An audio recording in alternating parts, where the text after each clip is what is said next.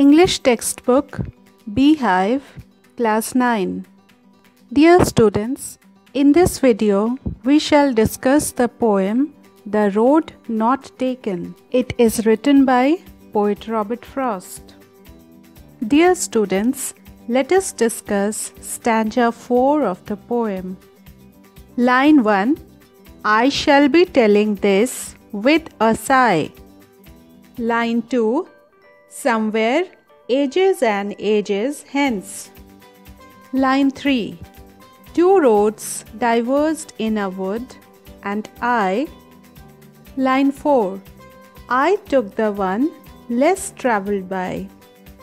Line 5 And that has made all the difference. Dear students, let us understand its explanation.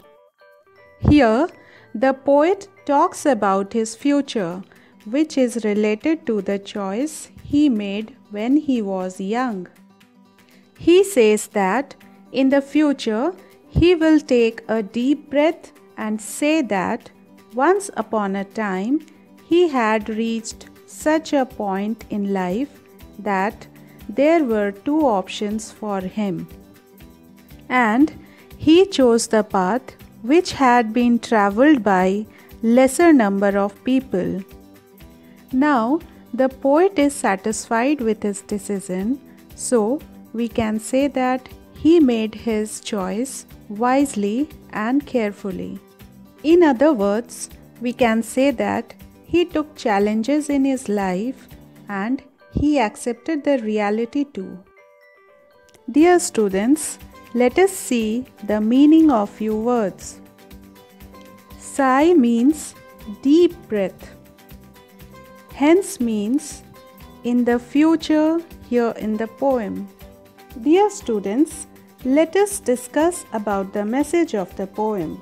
Dear students, the poem gives a very strong message for all of us. That is, we all should be wise and careful while making choices in our life.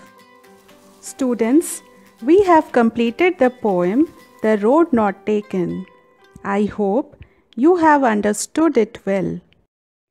Thank you.